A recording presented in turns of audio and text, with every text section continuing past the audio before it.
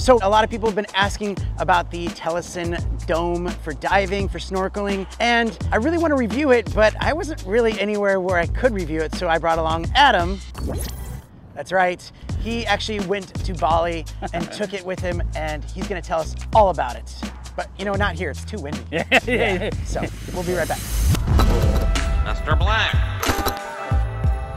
By the way, welcome to the channel. My name is Danny Black, and I love to review cool gear that comes my way. If you're new here, don't be a stranger. Click that subscribe button that's right in front of Adam's face. Yeah, yeah.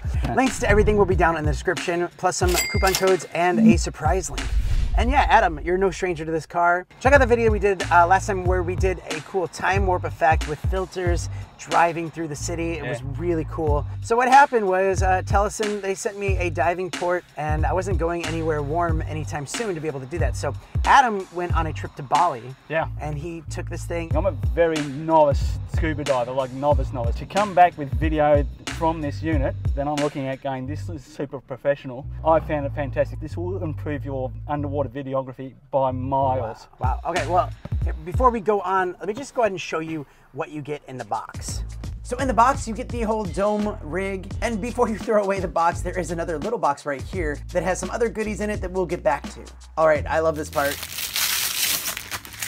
It's so nice and lightweight, but it's just really easy to hold. It does come with a cleaning cloth and it also comes with a dome cover. It is the standard Telesin dome with the built-in housing for the Hero 9, 10, and 11, and let's just go ahead and say 12 too, because we know that's gonna be the same. The handle part has two quarter thread mounts on the top and three cold shoe mounts on the bottom, so you can load this thing up with underwater lights. It's really easy to pop the dome into place as well, and it comes with this attachment, so if you didn't want to use the dome, but still wanted to use the handle rig and waterproof housing, well, you can do that.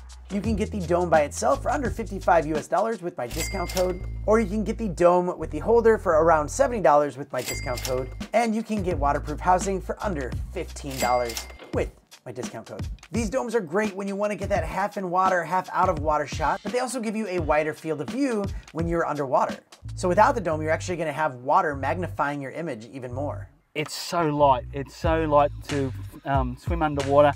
Having the two hands on it makes it super stable. Like my arms are flailing around out there in the water. So with the with that unit, nice and firm in my hands, the, the video looks so clean. Just it looks so it looks professional. professional, yeah. It looks like I'm watching a movie.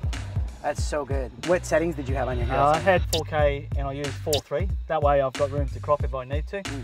Uh, I use 60 frames per second. I set my minimum ISO to 100 and depending on my depth, if I'm only doing snorkeling, I'll set it to 400. But if you're going down to 30 meters and that, you probably want to probably push it to 1600. He uses waterproof lights. He said it makes a huge difference. Okay, so this is uh, just a fairly cheap underwater light. It's not overly bright like professional dive lights around about 10,000 lumen. But once you put two on and if you go even four, you're starting to add a fair bit of fill light. So when I'm diving deep, 18 to 20 meters, um, it gets pretty dark down there. So to be able to swim up close to something and get some fill light in, it just makes all the difference in your video. It really did make my video stand out to everybody else's that I was seeing. And for a very inexpensive rig setup, you know, two lights and the rig itself, which is pretty, pretty well Yeah. priced. Um, and to get the results that you'll see in these videos. In your GoPro Quick app, when you go in to edit the video, you'll find filters. Now go into the filter section, and Danny can probably do a little clip on this as well. Uh, you can slide it. you can slide across. You'll see one called water, and when you click on that, you'll see it comes up with underneath that dive, snorkel, and surf. I think it is. Uh, you click on dive, and then you'll find a little slider at the top. You can dial in as much of that filter as you want. That made a big difference as well. What about uh, like condensation or anything like that?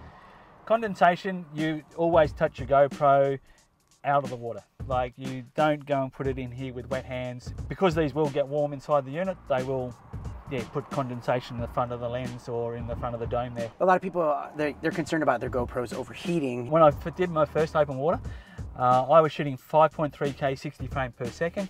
I had it one clip that I forgot to turn it off. I did 15 minutes underwater. Didn't didn't overheat. Hypersmooth is just on standard. Yeah, yeah. I don't go anything uh, any more than that. Uh, doesn't that way it doesn't crop in too much. Um, plus you've got the rig anyway, so it's whole, it's keeping it nice and stable. Yeah, true. So uh, when you're transporting it, you can pull that out and just get the cover and keep it covered, which makes it really easy for tra- traveling. Um, Because you got a bunch of scuffs on yours. yes, yes. So You didn't have that. just a polycarbonate, I presume. and it does get a little scratches in it.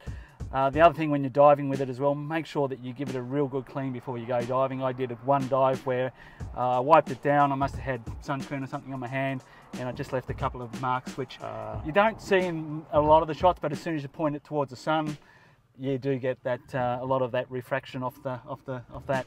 Like I said, I'm novice. I'm Yeah. I'm absolutely novice. Like to go out there and get video that I'm super proud of with very limited experience in diving and snorkeling.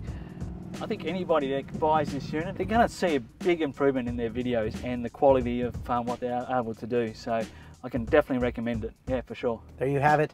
I still will like to test this out. I'm hopefully I'm going to get up to the Great Barrier Reef or something pretty soon. Especially with the Hero 11, I really want to test out that 10 bit Yes. color Oh, and that yeah, yeah. 8 by 7 Yeah. uh, full frame look. So if you have any questions, write them in the comments. He'll be trolling. He'll he'll be he'll answer all of your questions. I think you know when you share your knowledge and it helps people, it, it makes you feel good. Just like you know when people click on your Oh, you link. just clicked it. Thank you. Thank you for clicking that. Yeah, really appreciate you testing that out. And uh, well, one, two, three. See you next time. Can we call you Uncle Blackie? No. I am super impressed. I highly recommend it. Adam.